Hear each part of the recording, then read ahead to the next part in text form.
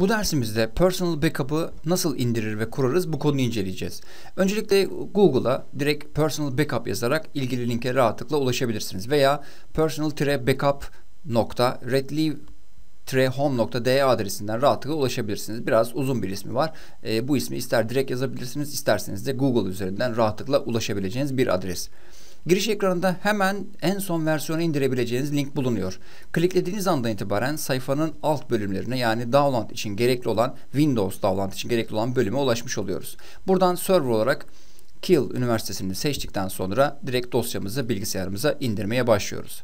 Şu an itibariyle gördüğünüz gibi dosyamızı bilgisayarımıza indirdik ve klikledikten sonra run dedikten sonra işletim sisteminde kurması için gerekli onayı verip direkt bilgisayarımıza kurmasını sağlayabiliriz. Her programda olduğu gibi kurulum e, ekranında Next ile bir sonraki ekrana sözleşmeyi kabul edip Next ile bir sonraki ekrana ve tekrar bir sonraki ekrana geçerek kurulacak yeri de bildirdikten sonra Next ile bir, bir sonraki ekrana Start menüsü içerisindeki ismini de belirledikten sonra Next ile bir sonraki ekrana geçerek gerekli ayarları yapıyoruz. Burada dikkat etmemiz gereken nokta şudur. File olarak e, backup dosyaları içerisinde backup dosyasının uzantısını e, restore, clean yani silmek için, kontrol etmek için gerekli olan e, dosyaları personal backup'ın kullanmasını sağlayabiliriz. Bunun dışında mesaj olarak log dosyaları yani neler yaptığını size bildirmesini sağlayabilirsiniz ki bu ihtiyacınız olabilir. Bu sebeple işaretlemeniz doğru olacak. Diğer taraftan masa üstüne kısa oluşturmak için de create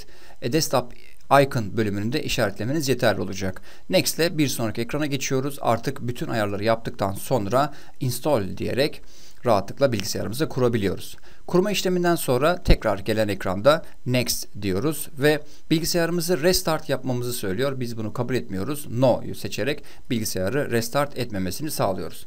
Bu işlemden sonra direkt masa üstüne attığı ikon üzerine double click yaparak e, personal backup'ı açmaya çalışıyoruz.